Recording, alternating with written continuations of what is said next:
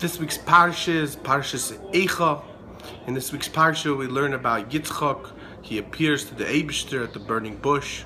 There's a story that goes about these kids that left their mommy and the tati, and they went to play in front of the church.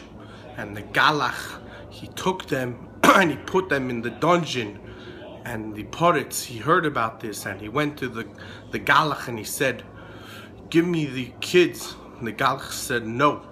So the poet said, if you can drink this mensaker mashke, then I will let you keep the kids in the dungeon. So the Galach said, God damn it, Poritz, enough with this friggin' mashke. And the Poritz got so mad, so he beat up the Galach. And then, because he beat up the Galach and took the kids, the Poritz was Zeiche, and the Abishter granted him to be able to give birth to none other than the Baal himself. And the Galach had to go work in the gas station. Good Shabbos.